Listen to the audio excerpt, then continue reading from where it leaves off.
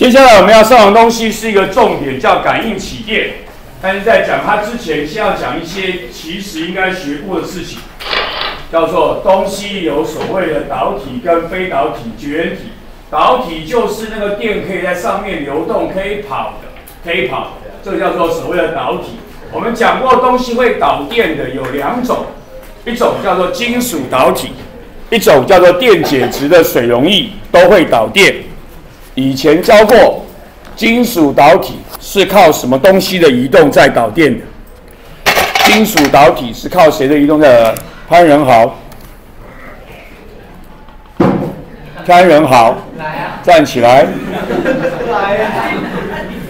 金属导体是靠谁的移动在导电？五、四、三、二、一，坐下。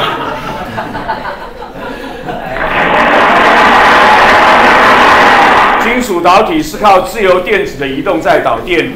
二年级下学期学电解质，电解质水溶液会导电，电解质水溶液是靠谁的移动在导电？电解质水溶液是靠谁的移动在导电的？有没有女生？有，陈真。电解质水溶液是靠谁的移动在导电？靠离子的移动在导电，请坐。它为什么会导电的原因。然后自由电子这件事情，未来还会再继续出现。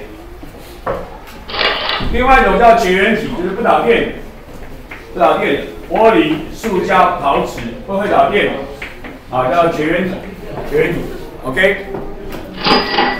还有叫不良导体，有点会导又不太会导的不良导体，叫做虽然可以导电，但电阻很大，电阻后面交就是所谓电在流的阻力叫做电阻。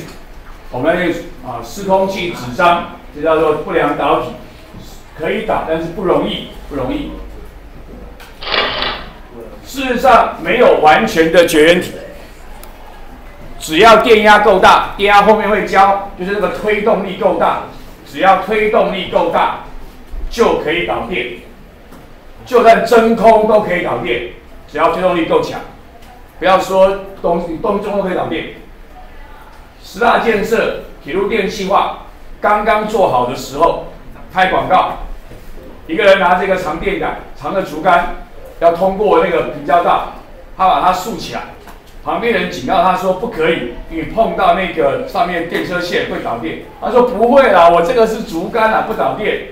不对，你我们平常的家里的电线电源一百一十伏特，冷气机二百二十伏特而已，那个电车线两万五千伏特，所以。你戳那个家里的电不导电，你碰那个就会导电，因为电压够强，电压够大，所以只要电压其实没有真正完全绝缘的，只要电压够强，真空都可以导电，什么都可以导电。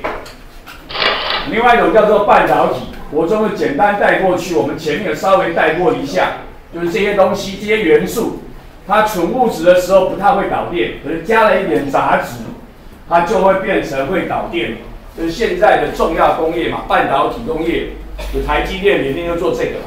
我们的电脑里面都是它嘛，电脑里面都是它啊，什么什么太阳能电板也是它，也都是它半导体，虽然很有用，但是我们就简单的就可以讲一下就过去了。那个里面的东西也太复杂，我中也不教啊，就知道有这么一个玩玩意儿就就可以。